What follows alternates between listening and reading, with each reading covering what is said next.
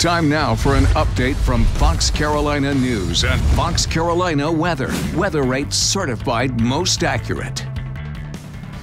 Good evening to you. I'm Shale Remien with a look at your flash briefing. DHEC announced Saturday there are 144 new cases of the coronavirus, and sadly, eight more people have lost their lives. With this new information, that means the total number of cases sits at more than 3,200, while 80 people across the state have died.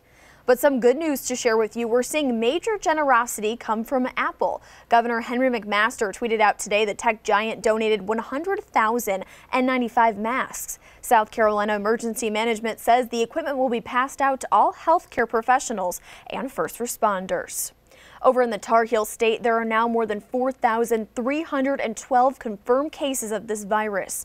They're also seeing 80 deaths in that state.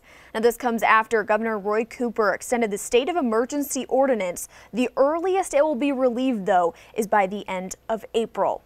And Easter is tomorrow, but we're seeing some severe weather about to hit our area. I want to get to meteorologist Ben Dorenbach. So, Ben, when exactly is this going to start hitting for us?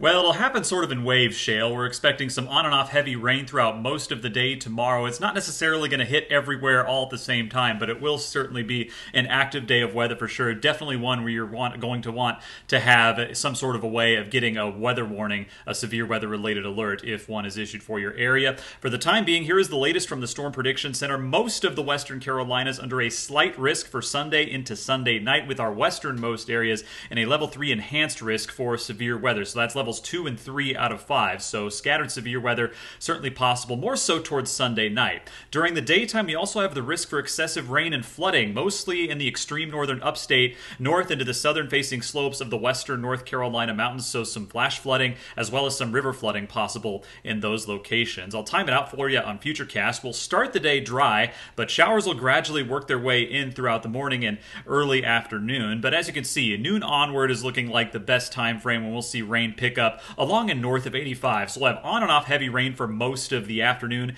Might have a brief lull here and there during the evening as well. We might have a stray, strong, or severe storm during that time, but mostly during the day Easter, we'll see it mostly in the form of rain. But heading into the overnight hours, the main line of thunderstorms really doesn't move in till after 11 o'clock midnight. So this is likely going to move through when most of us are asleep. So very, very important that you have a way of being woken, uh, being woken up by a severe weather alert. So after midnight Sunday night into early Monday morning. That's the best potential for seeing anything from large hail to damaging winds, which is the likeliest thing, and possibly even an isolated tornado or two during the late night Sunday into early Monday. We'll have continuing coverage throughout the night as well as on the 10 o'clock news this evening. You can also get the latest and the latest weather alerts sent right to your mobile device on the Fox Carolina News app. So stay safe, and we'll see you tonight on the 10 o'clock news.